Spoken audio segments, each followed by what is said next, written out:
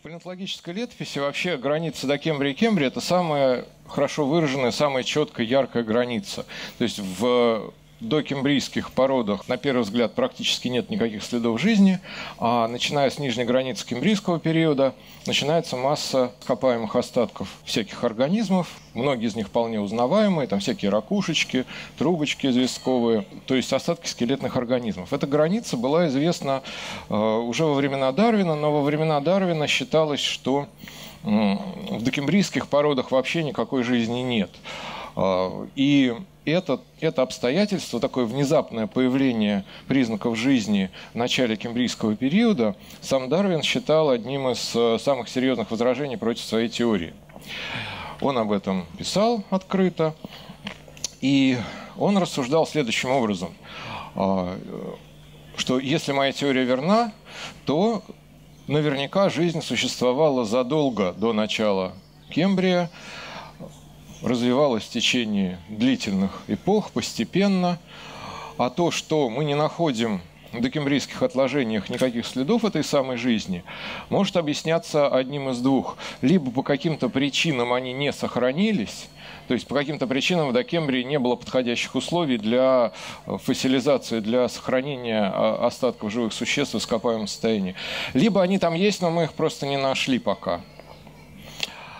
И в 20 веке докембрийская ископаемая биота ископаемая жизнь была обнаружена, и это стало одним из самых ярких подтверждений э, правоты Дарвина проверяемое следствие его теории, которое подтвердил. Самое удивительное, что на сегодняшний день усилиями ученых, палеонтологов, геологов и химиков и даже астрофизиков.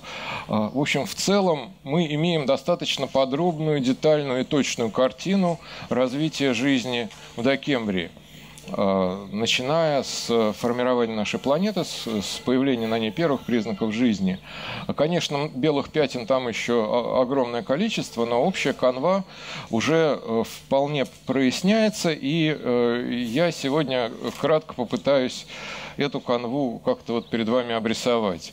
Вообще задача эта непростая, потому что в норме я э, рассказываю про палеонтологию до Кембрия где-то в течение 5-6 больших таких полуторачасовых лекций, а сейчас у меня только 55 минут, и, э, в общем не совсем очевидно, как за это время что-то внятное такое рассказать, поэтому прошу прощения, если изложение будет несколько таким отрывочным и поверхностным, а, но в принципе, если поискать в интернете, в YouTube, там есть э, мои более подробные лекции на эти темы.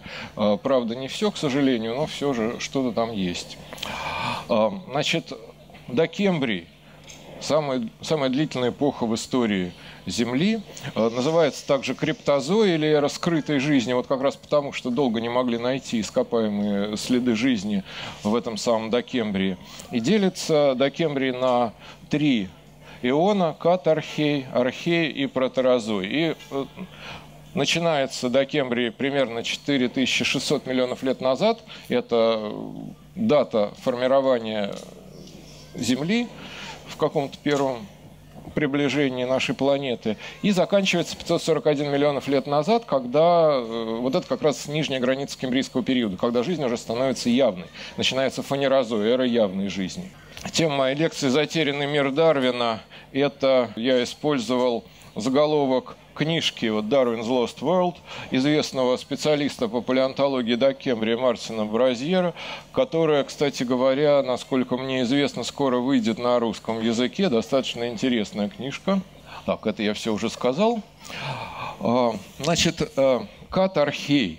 Это такой наиболее загадочный э, период, и он в истории Земли. А, почему он загадочный? Потому что практически не сохранилось в земной коре пород горных пород этого возраста. Все породы камня, которые составляют земную кору, почти все, они более молодые. Значит, возраст пород датируется, возраст магматических пород датируется радиометрическими методами, которые показывают, в какой момент вот этот камень стал твердым. Да? Как, э, то есть, когда камень расплавляется, часы обнуляются, вот эти радиометрические.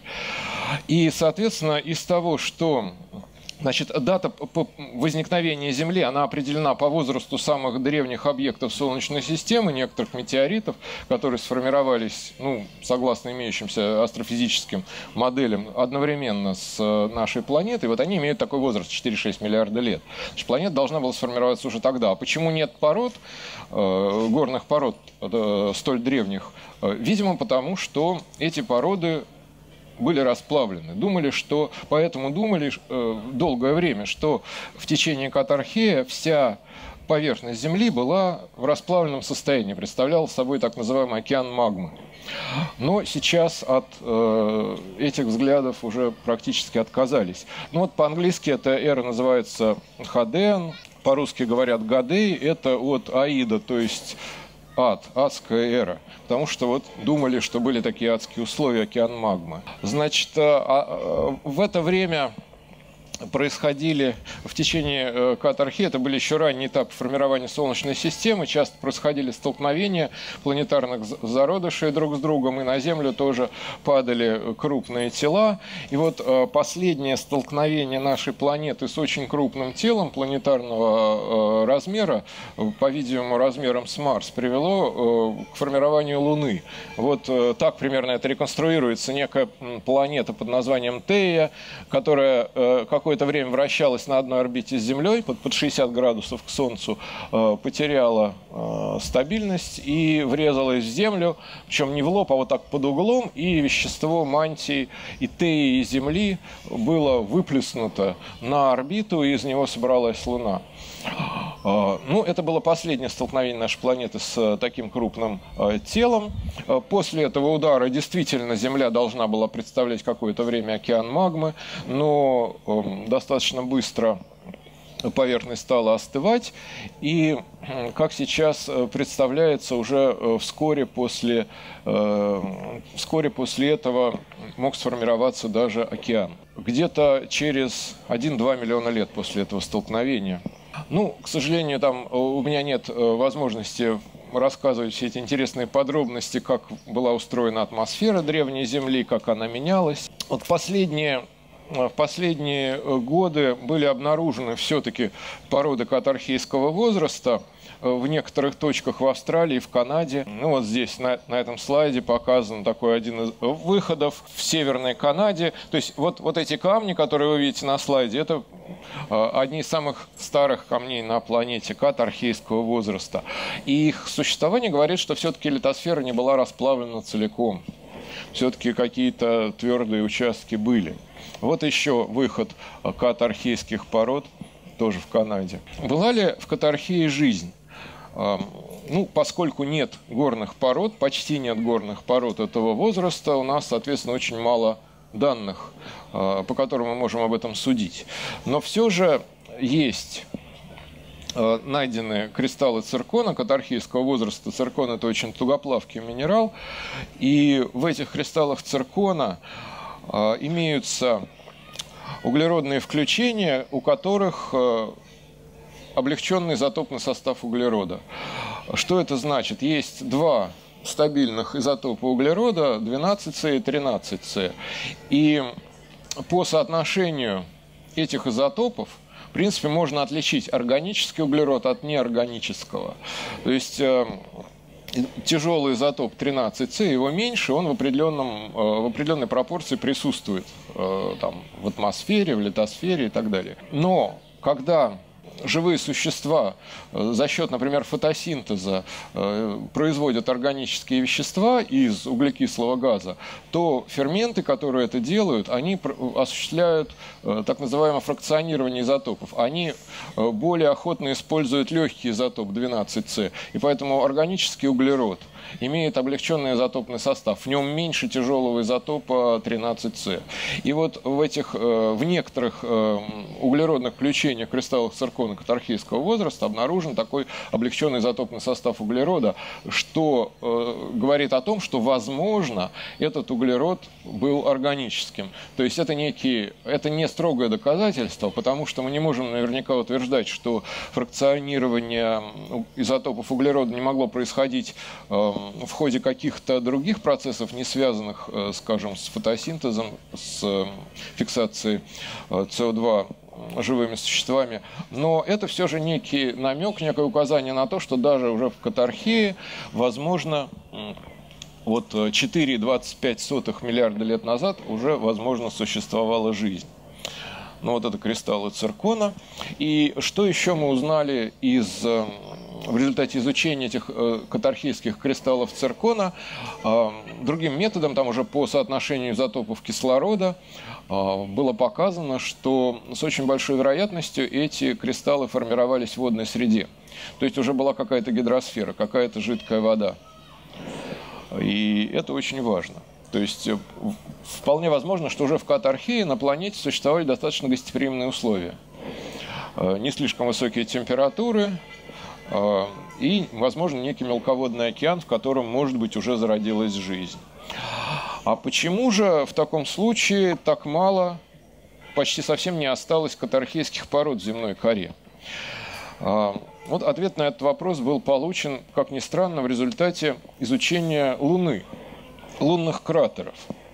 Значит, а, были получены э, радиометрические датировки лунных кратеров, то есть э, э, когда падает крупный, скажем, астероид на поверхность Луны, то выделяющаяся энергия э, приводит к тому, что породы плавятся, и получаются так называемые импактные расплавы. Потом они застывают, и вот можно определить время, когда они застыли. Соответственно, можно определить время, когда сформировался кратер. И выяснилось, что э, подавляющее большинство крупных лунных кратеров имеет э, почти одинаковый возраст в интервале от 4,1 до 3,8 миллиардов лет назад. А это значит, что в это время, то есть примерно через полмиллиарда лет после формирования Солнечной системы, был некий период нестабильности, когда на Луну, а также на другие планеты э, земной группы, ну там на Марс, э, Венеру, Меркурий и, очевидно, на Землю тоже, падали в большом количестве достаточно крупные тела. Э, существуют астрофизические модели, которые объясняют, почему так получилось, откуда взялись эти тела почему они стали падать, но вот э, факт состоит в том, что был такой период, и его назвали поздняя тяжелая бомбардировка. И вот именно, по-видимому, именно эта самая поздняя тяжелая бомбардировка и привела к тому, что была переплавлена почти вся катархийская кора земная. На Земле кратеров таких древних не сохранилось, потому что Земля, в отличие от Луны, это живая планета, а, активная геологически, и процессы эрозии, и процессы тектоники плит просто не оставляют следов от столь древних кратеров. А на Луне они сохранились, на Меркурии они сохранились, на Марсе.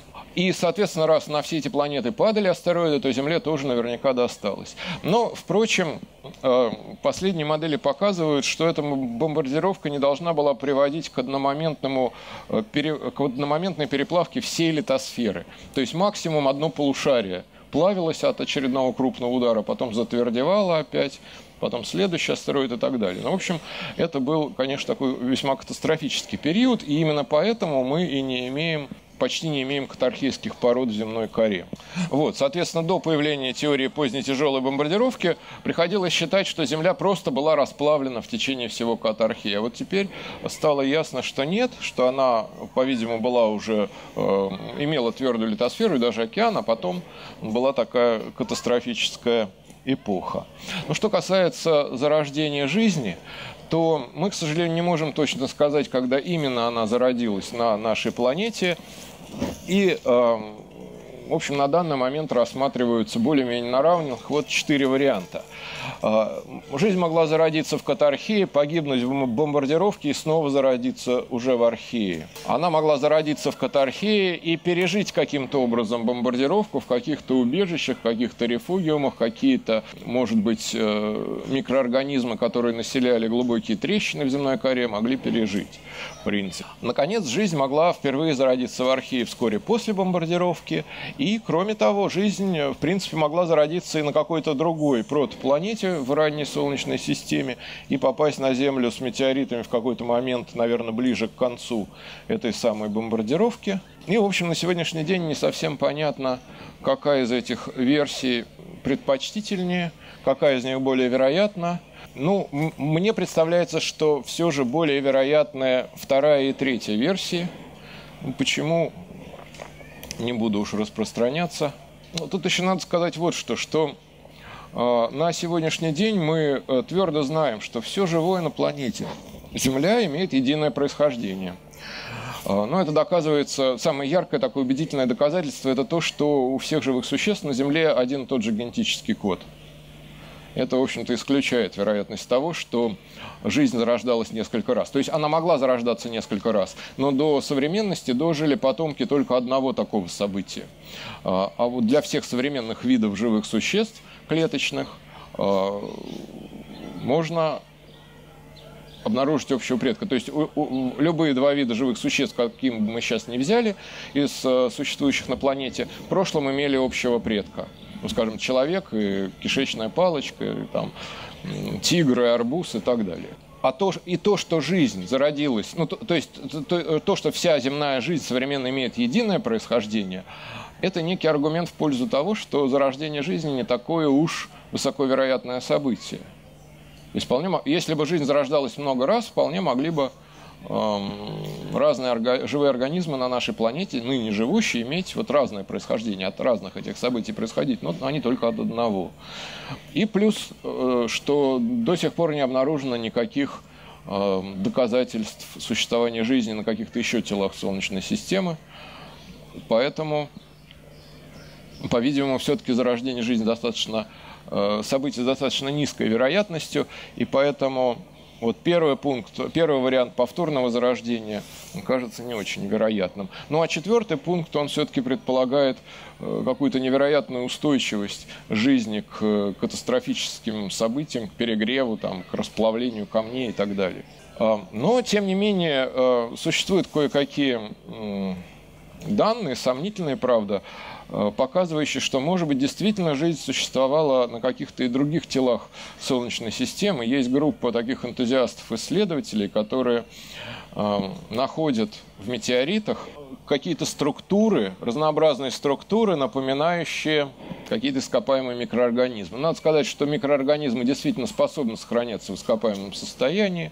Это показано экспериментально, причем это может очень быстро происходить в подходящих условиях. То есть в экспериментах было показано, что в подходящих условиях, при в минеральных растворах, бактериальная клетка может окаменеть, фоссилизироваться буквально за пару часов и потом она может сохраняться уже неопределенно долго. И вот в некоторых метеоритах э, обнаруживаются э, структуры интересные формы. Вот как, например, вот это вот что-то такое длинненькое, это очень знаменитая фотография. Это э, из марсианского метеорита, который был обнаружен в Антарктиде. Возраст породы этой марсианской более 3,5 миллиардов лет, а в это время на Марсе с большой вероятностью были условия гораздо более благоприятные, чем сейчас, и, возможно, там существовал океан, с большой вероятностью там существовал океан в то время, и, в принципе, 3,5 миллиарда лет назад жизнь могла бы существовать на Марсе. Так что, в общем, ничего такого совсем уж невероятного в этом нет. Но другое дело, что доказать, что вот такая штучка действительно является ископаемым каким-то живым существом, а не просто каким-то минеральным, неорганическим объектом, доказать это непонятно как. Потому что химически она состоит ровно из того же самого вещества, что и окружающая порода. Вот мы только видим вот эту форму и все. И, в принципе, неорганические образования такие тоже можно себе вполне легко представить. Так что на сегодняшний день нет – стопроцентных доказательств существования ископаемых микроорганизмов в метеоритах, хотя есть группа энтузиастов, ученых, которые очень в это верят и продолжают исследовать. Значит, это у нас катархий. Теперь э, следующий архейский ион, э, который начинается вот 4 миллиарда лет назад, заканчивается 2,5 миллиарда лет назад. Это время, когда уже на Земле точно существовала жизнь, когда атмосфера еще была полностью лишена кислорода – и жизнь была исключительно прокариотная, то есть э, это были прокариотические клетки, не имеющие ядра, и сообщество таких клеток. Значит, настоящая геологическая летопись полноценная начинается примерно 3,8 миллиарда лет назад, э, как раз когда заканчивается вот эта самая поздняя тяжелая бомбардировка. И с этого момента начинают попадаться осадочные породы осадочные породы, окаменевшие осадки, которые формировались на дне древних водоемов. Это как раз те породы, где, в принципе, могут сохраняться ископаемые следы организмов. Но э, самые первые следы жизни в архее от 3,8 до 3,6 миллиарда лет. Это тоже вот изотопные такие свидетельства, то есть э, признаки жизни ограничиваются облегченным изотопным составом углерода в графитовых включениях, кристаллах э, определенных минералов. То есть вот первые две-три сотни миллионов лет геологи... полноценной геологической летописи все-таки э, таких стопроцентных, бесспорных ископаемых остатков микроорганизмов мы не находим. И только около 3,5 миллиардов лет назад они наконец появляются. Вот 3,5 миллиарда лет назад это старт настоящей, уже бесспорной палеонтологической летописи. С этого момента мы имеем бесспорные фоссилизированные микроорганизмы и бесспорные следы их жизнедеятельности, а именно так называемый строматолит. А, но сначала несколько слов о более древних э, предполагаемых следах жизни возрастом 3,7-3,8 миллиарда лет. Вот древнейшие осадочные породы, найденные в Гренландии, имеющие такой возраст 3,8 миллиарда лет, на самом деле там все-таки достаточно убедительные признаки, хоть и косвенные, но есть признаки того, что уже тогда существовала жизнь. Помимо облегченного состава э, углерода, там есть э, так называемые полощатые железные руды, э, BIF, Banded Iron Formation. Это такие специфические отложения, которые формировались только в Докембрии. Это действительно железные руды, которые вот, собственно, мы по сей день используем. Это те железные руды, которые используются человечеством. А полощатые они потому, что они действительно такие полосатые. Они состоят из э, чередующихся слоев с высоким содержанием железа и низким содержанием железа. Э, но вот это здесь пример образца, где полосы достаточно широкие, такого сантиметрового э, размера, а бывают полощатые железные руды с очень тоненькими слоечками. Вот там слой с железом, слой без железа. И вот такое, так, такое чередование. Они не образовывались уже в фанерозое. А, считается, что а, формирование таких полощатых железных руд было связано с э, деятельностью каких-то древних микроорганизмов, которые окисляли двухвалентное железо, которое было растворено в водах Древнего океана, э, превращали его в трехвалентное, в этом виде оно выпадает в осадок, ну, в виде ржавчины. И вот эти полосы соответствуют каким-то волнам жизнедеятельности. Может быть, это сезонные полосы, может быть, это суточные полосы, а может быть, это какие-то волны численности, связанные с тем, что микроорганизмы размножались, потом, скажем, их становилось слишком много, и они травили себя продуктами собственной жизнедеятельности, погибали, потом снова размножались. В общем, так или иначе, какие-то такие волны численности активности древних микроорганизмов. С большой вероятностью это были примитивные фотосинтезирующие микроорганизмы, которые осуществляли фотоокисление э, железа. А, они еще, скорее всего, не выделяли кислород. А, маловероятно, что кислородный фотосинтез возник так рано, а, но сейчас э, известны, показаны формы фотосинтеза, которые идут за счет именно окисления железа. В принципе, найдены кое-где ископаемые такие структуры, образования, напоминающие э, каких-то бактерий, какие-то микроорганизмы, но все находки старше 3,5 миллиардов лет, они на сегодняшний день считаются спорными. не исключено их э, неорганическое происхождение. Какие-то просто пузырьки, включения – в общем, строгих доказательств, что это именно ископаемые бактерии, нет. Вот так выглядят некоторые из них. Вот. А древнейшие бесспорные э, микрофасилии, ну, те, которые на сегодняшний день считаются бесспорными, э, то есть они действительно бесспорные, но, может быть, может быть, найдут и что-то более древнее. Вот они имеют возраст 3,465 тысячных миллиарда лет. Найдены они в Австралии, и тут уже действительно сомневаться не приходится, что вот это вот, например, колония каких-то шарообразных э, микроорганизмов. Это какая-то явно биопленка, то есть э, продукт жизнедеятельности какого-то микробного сообщества, какая-то нитчатая продолговатая форма. Э, вот еще э, фотографии микроорганизмов из той же самой формации, тот же возраст 3 э, и 465 и тоже Западная Австралия. Вот явно окаменевшие шарообразные какие-то микроорганизмы клеточные. э, филаменты, какие-то тяжи. Вот такие вещи тоже могут формироваться только э, в результате жизнедеятельности микробных сообществ. Даже предприняты более-менее успешные попытки разобраться, что именно это были за микроорганизмы. Есть ряд аргументов в пользу того, что по крайней мере, некоторые из них э, являются сульфат-редукторами, то есть они получали энергию за счет того, что устанавливали сульфаты. Но, впрочем, а, здесь все очень спорно, и э, дискуссии по этому поводу продолжаются в палеонтологической литературе. А, ну и, кроме того, уже где-то около 3,55 э, сотых миллиарда лет назад появляются в летописи первые строматолиты. Это такие слоистые осадочные образования э, разного состава, ну, характерные структуры, характерные формы. Эти слои могут там быть параллельными, не совсем параллельными, загибаться как-то.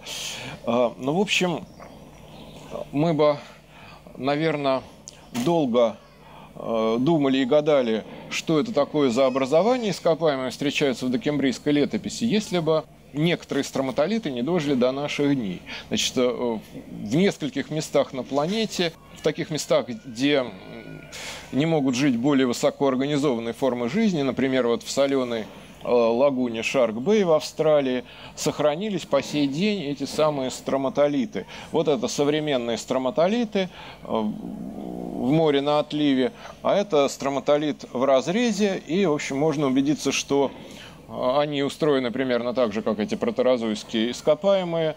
И, соответственно, мы знаем, как они образуются. Это э, минеральное образование формируется в результате жизнедеятельности микробного сообщества, э, в основе которого всегда лежат какие-то фотосинтезирующие бактерии. Современные строматолиты э, в большинстве своем строятся сообществами, в которых э, главную роль играют цианобактерии, осуществляющие кислородные фотосинтез.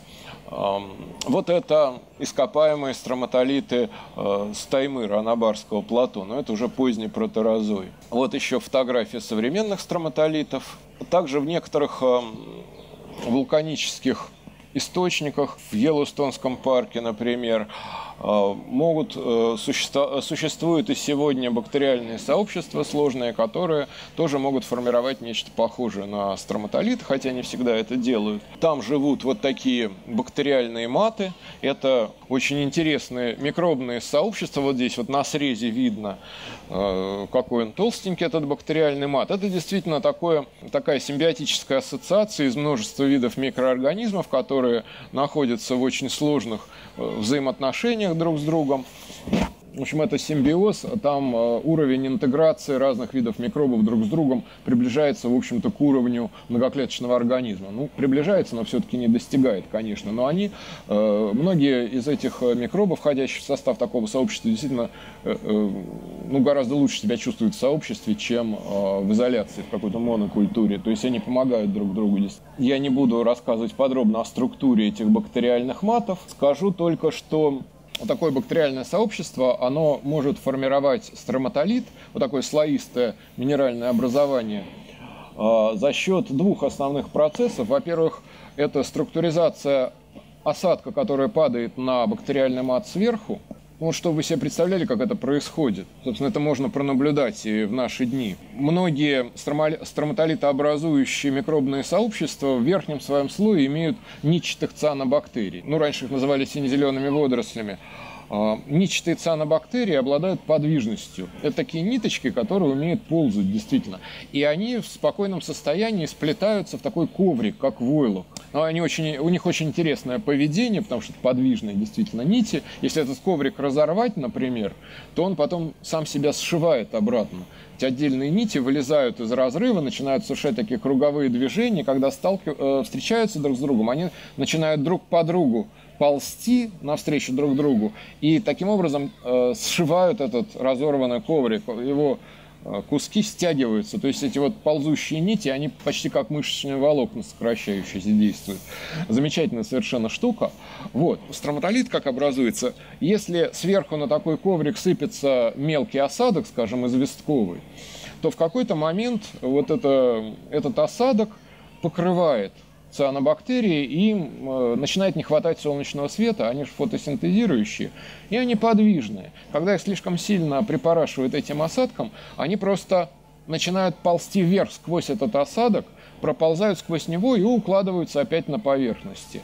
Они выделяют слизь, эм, которая склеивает этот осадок. И таким образом формируется такой уплотненный проклеенный органической слизью слоек осадка. На нем снова располагается бактериальный мат. Его снова присыпает осадком. В какой-то момент они снова выползают, снова укладываются сверху. И вот так слой за слоем растет строматолит. Ну и кроме того, там есть и другие процессы э, биоминерализации в нижних слоях бактериального сообщества, которые тоже этому способствуют. Э, ну, э, пожалуй, я не буду больше рассказывать про эти микробные сообщества архейские, хотя это очень интересная тема. Там есть э, такая острая дискуссия насчет момента появления цианобактерий. Дело в том, что, ну да, современные строматолиты чаще всего строятся при участии цианобактерий, а цианобактерии э, практикуют кислородный фотосинтез. Они выделяют кислород. И, соответственно, некоторые палеонтологи делают вывод, что раз уже 3,5 миллиарда лет назад у нас есть строматолиты, значит, уже были цианобактерии, значит, уже был кислород. Но по другим геологическим данным Кислорода тогда еще не было. Кислород начинает свободно появляться э, на миллиард лет позже.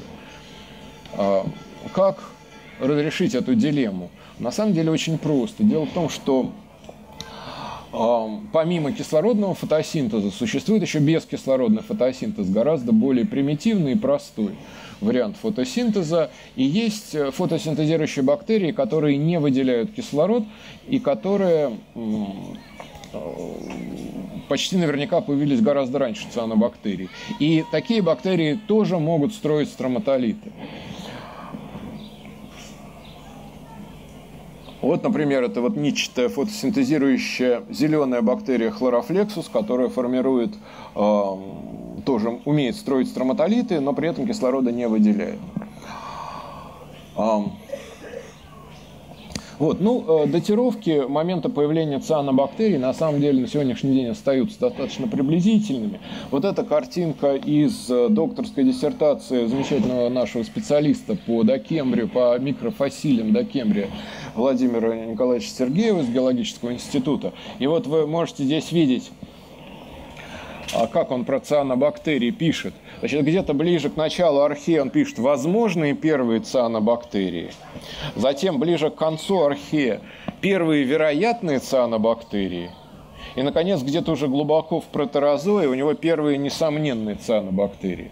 То есть некоторое, некоторый такой вот разброс датировок существует, но на сегодняшний день кажется наиболее вероятным, что они появились от 3 до 2,7 миллиардов лет назад на самом деле. И вот тогда-то они начали производить впервые кислород. Но поначалу кислород еще не мог накапливаться, потому что все, что выделялось, уходило на окисление вот того самого двухвалентного железа и на образование вот этих самых железных руд. Это э, гораздо более поздний ископаемый раннекембрийский цианобактериальный мат – нити цианобактерий облеплены какими-то мелкими одиночными бактериями. А, вот это еще хорошо сохранившиеся архейские прокариоты, ископаемые. Ну, бактериальная палеонтология. А, ближе к концу архейского иона, в позднем архее, а, происходили некие очень важные преобразования э, нашей планеты – Жаль, нет времени подробно рассказывать, но с большой вероятностью именно в это время, в позднем архее, вот от 3 э, до 2,5 миллиардов лет назад, э, стартовала так называемая тектоника плит, и э, стали быстро расти континенты. До этого момента, вот early Archean, это слева картинка условная, до, до позднего Архея по-видимому, большая часть э, планеты покрывал относительно мелководный океан, в котором было много э, двухвалентного железа растворенного, что здесь вот таким зелененьким цветом э, символически изображено. А континенты были маленькие и низкие. А, в конце Архея стартует тектоника плит, и идет бурный процесс нарастания континентов. Они растут в толщину, образуются э, большие объемы гранитных пород, и вот континенты приподнимаются над океаном, становятся высокими, что имело э, далеко идущие последствия дальше для эволюции нашей планеты. Это конец Архея. Дальше протерозойский он, э, самый длинный в истории Земли, в течение которого биосфера Земли перешла из состояния бескислородной планеты микробов – мира прокариот к кислородному миру уже эукариот, организмов э, со сложной клеткой, имеющей ядро. Вот с чего началось, здесь изображены вот строматолиты, такое однообразное, унылое сообщество. И вот чем закончилась эта вот э, реконструкция морского донного сообщества самого конца протерозоя. Значит, э, Важнейшее событие, которое происходит в самом начале протерозоя, это оксигенизация атмосферы. Целый ряд есть убедительных таких э, фактов, свидетельствующих о том, что именно где-то начиная с 2,45 миллиарда лет назад стал резко расти уровень свободного кислорода в атмосфере, практически от нулевого уровня до где-то до уровня 1 десятой от нынешнего. Причины этого события ну, связаны в первую очередь с распространением цианобактерий. Значит, мы должны понимать, что тем, что у нас э, в атмосфере есть кислород, мы обязаны исключительно цианобактериям. Это единственная группа организмов, которая изобрела кислородный фотосинтез и до сих пор они удерживают на самом деле монополию, патент на этот процесс. Потому что вот эти вот зеленые растения, которые нас окружают, они тоже э, фотосинтезируют при помощи хлоропластов кластид, а хлоропласт это не что иное, как э, симбиотические цианобактерии, которые давным-давно поселились в клетках предков современных растений. То есть весь кислород в атмосфере – это дело ну не рук, у них рук нет, да, но это, в общем, продукт жизнедеятельности цианобактерий. Но они появились до великого кислородного события, а, и первое время тот кислород, который они производили, весь уходил на окисление железа, а вот 2,45 э, миллиарда лет назад что-то такое произошло, и кислород стал накапливаться. А что произошло? По-видимому, вот это все железо, основные запасы вот этого двухвалентного железа, растворенного в океане, закончились, и все, наконец, выпали в осадок. А почему они выпали в осадок? Ну, э, это есть этому хорошее объяснение, как раз связанное с подъемом континентов, о котором я только что говорил. Подъем континентов изменил состав вулканических газов, которые стали, э, поступали в атмосферу, потому что когда вулканы извергаются на дне океана, это один результат, а если они извергаются на воздухе, это другой результат. И те вулканические газы, которые попадали а, в атмосферу э, при извержениях наземных вулканов, они через ряд промежуточных стадий способствовали тому, что растворенное в океане железо успешно осаждалось, выводилось из воды, и, соответственно, тот кислород, который производили цианобактерии, получил возможность накапливаться. Вот это еще картинки полощатых железных руд, о которых я уже говорил. Это очень интересные графики, связанные с тем, как раз как менялся уровень кислорода э, в истории Земли. Но у меня нет возможности даваться в подробности. Я бы хотел все-таки немножко сказать о том, как появились первые крупные, а, такие макроскопических размеров организма. Значит, а, вот после оксигенизации атмосферы следующее величайшее событие, которое в истории нашей планеты произошло, это происхождение эукариот, эукариотической клетки. На самом деле, после зарождения жизни это второе по значимости событие в эволюции земной жизни. Но как они появились, от кого, через какие этапы, это крайне интересная тема, но это, безусловно, тема одной лекции. Э, сейчас даже и пытаться не буду, э, наверное, это вам э, рассказать. Ну, главное, что нужно понимать, что эукариотическая клетка – это результат симбиогенеза, это результат слияния в единый организм нескольких прокариотических клеток. Это как бы такое сообщество микробов, которое превратилось в единый организм. Ну, в частности, вот хлоропласты растений – это явно симбиотические цианобактерии. Что касается ископаемых находок, то, в общем, от одноклеточных ну, я показывал ископаемые бактерии, а вот что касается ископаемых первых эукариот, мы от них, по-видимому, находим только оболочки в тех случаях, когда они образовывали, эти клетки образовывали какие-то плотные оболочки. А, и в докембрийской э, палеонтологической летописи найдено большое разнообразие таких оболочек. Это эм, футляры, в которые были заключены какие-то споры, какие-то покоящиеся стадии жизненного цикла разных организмов, как прокариот, так и эукариот. Такие оболочки ископаемые называют акритархами. Это слово, в общем-то, ничего особого не значит, кроме того, что это чья-то оболочка. Как правило, неизвестно чья. А, ну, по размеру э, судят. Скажем, если очень крупная, скорее всего, эукариотическая. Если маленькая, может быть, прокариотическая. И по наличию каких-то шипов, выростов на поверхности, потому что такие э, украшения характерны для эукариот, а не для прокариот. Где-то 2 миллиарда лет назад происходит э, резкий рост разнообразия акритархов и других микрофасилий в ископаемой летописи. Это как раз вот 2 миллиарда лет назад. Это более-менее предполагаемое время появления эукариот. А, вот так выглядят окремненные ничатые цианобактерии протерозойские. Очень хорошо иногда они сохраняются. Вот. Когда же появляются первые живые существа, видимые невооруженным глазом? Вот на сегодняшний день э, одна из, э, или может быть даже самая древняя форма э, макроскопического размера, это вот так называемые гриппании. Это не очень понятно, что такое на самом деле было. Это спиралевидные углеродистые ленты размером в несколько сантиметров, которые, ну вот здесь написано древнейшие образцы 1,87 миллиарда лет – а, но на самом деле сейчас найдены гриппании даже старше немножко 2 миллиардов лет. И большинство специалистов трактует их как какие-то многоклеточные водоросли эукариотические. Хотя есть э, авторы, которые считают, что это гигантские колонии цианобактерий. В общем, несколько спорная такая вещь, гриппания.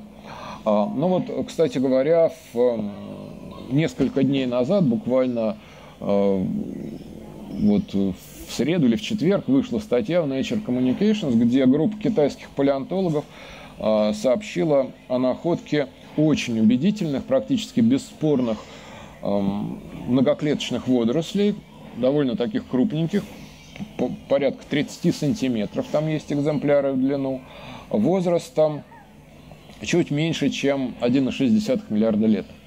То есть это уже точно эукариоты, многоклеточные водоросли макроскопические существовали. Это еще некоторые ископаемые многоклеточные эукариоты.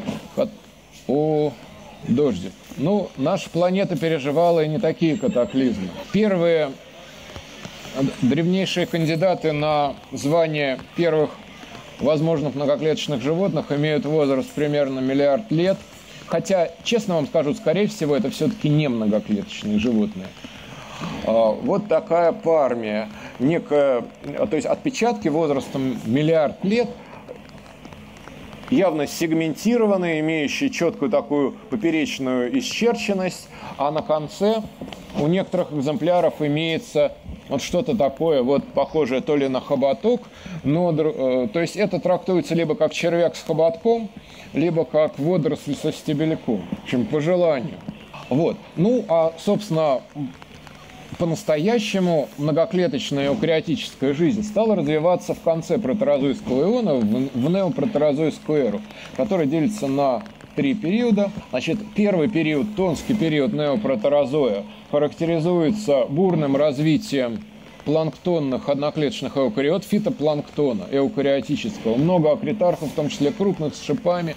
А, поскольку у них появлялись шипы, видимо, это значит, что уже появились какие-то хищники, то есть какие-то, ну, скорее всего, тоже одноклеточные организмы, может быть, вроде каких-то инфузорий, которые этот фитопланктон употребляли в пищу, и чтобы защититься от них, акритархи становились крупнее и покрывались шипами. Захоранивается много органики в, осад, в осадках в связи с, вот, с развитием биомассы, продуктивности планктонных сообществ.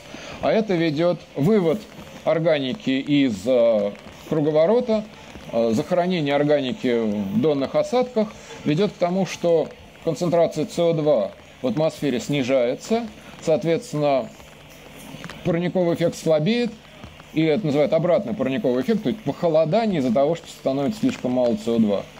И э, по окончании вот этого самого тонского периода начинается самый страшный холодный период в истории Земли, криогеновый период, когда э, Землю постигла такая череда сильнейших за всю ее историю оледенений. В некоторых случаях ледники доходили до экваториальной зоны. Это очень убедительно доказывается геологическими данными. Можно определить, на какой широте находились те или иные горные породы в момент их формирования. По остаточной намагниченности можно определить палеошироту, и достаточно есть надежные признаки присутствия ледников. То есть ледники доходили практически до экватора. Была даже такая теория Сноубело, Земля-снежок, э, которая предполагала, что Земля покрывалась льдом вся целиком вообще. Но сейчас, в общем, э, господствует точка зрения, что такого, вот такого полного тотального оледенения все-таки не происходило, и в экваториальной области оставались какие-то полыни, какие-то проталины, все-таки не сплошной лед. И это объясняет, каким образом жизнь вообще уцелела в это время. И вот как раз на фоне этих э, кошмарных оледенений появляются и проходят первые важнейшие этапы своей эволюции животные, многоклеточные животные, к которым мы с вами относимся. Ну вот это реконструкция, как выглядела география планеты в конце протерозоя, когда происходили эти оледенения. Это картинка, показывающая причинно-следственные связи, которые приводили к оледенениям и последующему их таянию. Но это вот палеоклимат, это тоже тема отдельной лекции, к сожалению, не могу на этом останавливаться, хотя это крайне интересная тема. И после того, как, наконец, ледники растаяли, а растаяли они благодаря, прежде всего, вулканам, вулканическая активность э, поставляла в атмосферу, прежде всего, СО2, если бы не вулканы, если бы наша планета была геологически неактивной, а, то планета, скорее всего, из этих э, оледенений бы не вышла, она бы обледенела навсегда. Но благодаря тому, что вулканы продолжали работать, снова накопился СО2 в атмосфере, стало тепло, все растаяло. И вот тут-то как раз начинается последний идиокарский период эм, протерозоя, в течение которого многоклеточные крупные формы жизни начинают уже господствовать в морских сообществах. Значит, э, ну, я уже должен заканчивать. Э, просто покажу некоторые картинки э, ископаемых идиокарского или венского, как его в России раньше называли, периода. Ранневенские ископаемые водоросли многоклеточные, весьма разнообразные. Очень интересные, загадочные ископаемые эмбрионы, которые в больших количествах найдены в Китае, фосфоритовых отложениях. И идут чрезвычайно интересные дискуссии по поводу того, что это за эмбрионы, чьи это эмбрионы, кто из них развивался. Потому что вот там были такие условия, что сохранялись только эмбрионы, потому что они были покрыты плотной оболочкой. Видимо, это была плотная оболочка яйца, а, которая облегчала фасилизацию содержимого. Внутри яйца начинались первые стадии развития, дробления. Значит, формировалось сначала там две, потом четыре клетки, 8 и так далее, какие-то стадии развития проходили. Пока это все шло внутри оболочек, это могло сохраниться в ископаемом состоянии. Как только выходило из оболочки, все, уже в ископаемую летопись это не попадало, поэтому мы не знаем точно, чьи это эмбрионы. И есть очень, э, очень интересные версии, всякие исследования, эта дискуссия продолжается. Но, в общем, по крайней мере, некоторые из них почти наверняка все-таки принадлежали действительно многоклеточным животным, причем даже э, не самым низшим, не самым примитивным, а билатерально симметричным животным, белотериям. А другие же, возможно, другие эмбрионы принадлежали, возможно, а, каким-то базальным тупиковым ветвям животного царства, очень примитивно, а какие-то, возможно, представляют собой даже еще не многоклеточные организмы, а некие колониальные простейшие. Вот. Ну и, конечно, самая знаменитая, самая яркая группа ископаемых идиокарского или венского периода – это так называемые вендобионты. Это удивительная фауна мягкотелых, то есть бесскелетных, крупных организмов. Ну, разумеется, многоклеточных, хотя они сохраняются так, что там клеток отдельных не видно, к сожалению. Это отпечатки, э, как правило, в грубом песчанике, и там породы ну, зерно крупное, и там мелкие структуры неразличимы. То есть мы, к сожалению, мало что можем сказать о тонком строении этих организмов, только вот о таком макроскопическом. И там есть очень странные организмы, не похожие ни на что ныне живущие, как, например, вот формы с такой трехлучевой симметрией, как этот трибрахидиум. А, некоторые из них как вот, например, ерги, по-видимому, были подвижными, но двигались очень необычным способом. Вряд ли у них были мышцы, вряд ли они могли ползать, как современные, скажем, черви или моллюски. А судя по следам, которые они оставляют, они лежали просто неподвижно на дне, переваривая микробную пленку, которая покрывала дно. А потом они каким-то образом всплывали, видимо, они были покрыты ресничным эпителием, и за счет этого эпителия всплывали, чуть-чуть переплывали и рядом снова ложились, снова переваривали эту биопленку, покрывавшую осадок. И вот так, такие следы они оставляют. Были такие прикрепленные формы, похожие на перья. По-видимому, они питались, э, ну, по крайней мере, многие из них просто растворенной органикой, потому что достоверно пищеварительная система у них не обнаружена. У них очень интересно, у этих форм встречается такая сегментация. Есть формы, чрезвычайно похожие на каких-то членистоногих трилобитов, вот как это Вендия, но у нее совершенно другая симметрия. Если у всех нормальных членистоногих, а также кольчатых червей и других билатерально-симметричных животных сегментированных какие-то придатки, если есть, то они находятся друг напротив друга, то у этих вендобионтов э, наблюдается такая так называемая симметрия скользящего отражения. То есть придатки идут в шахматном порядке, что вообще Э, очень не характерно для современных животных. Ну, скажем, только разве что в амбулакральной системе иглокожих такой тип симметрии встречается. Вот. Э, есть среди вендобионтов такие формы, которые э, какое-то время претендовали на роль